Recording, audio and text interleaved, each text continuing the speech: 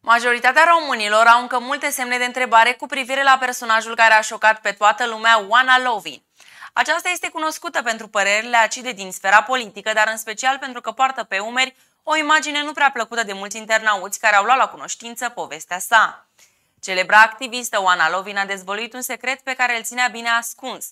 Aceasta a mărturisit cât reușea să câștige în perioada în care activa ca model de videochat. Tânăra este cunoscută drept un personaj extremist, mult comentat în mediul online și nu numai. Femeia a declarat că se vorbește despre sume uriașe în industria unde există zeci de românce care reușesc astfel să devină independente prin câștigul la zeci de mii de euro lunar. Cea din urmă a recunoscut că la început lucrurile nu merg extraordinar din prima.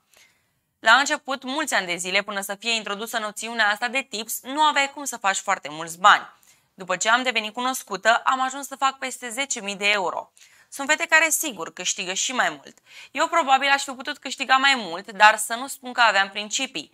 Pur și simplu, cum sunt eu în viața de zi cu zi, așa eram și acolo. Oana Lovin susține că nu a profitat de anumite lucruri și că a avut câteva limite în privința a ceea ce face și cum face în fața camerei de filmat. La mine nu exista discuții. Îți dau atât să faci nu știu ce. La mine exista atât fac și punct. Aceasta a ținut să sublinieze că principalul motiv pentru care a ajuns în această postură a fost legată de lipsa banilor. Înainte avea trei joburi part-time. La un call center făcea sondaje, fiind studentă la sociologie, și la un magazin de încălțăminte unde făcea contabilitate primară, plus facultate. Pentru a reuși să se întrețină, a luat această decizie. Țin minte că în ziua în care m-am hotărât, adormisem în tramvaiul 41 și m-a trezit o bătrână.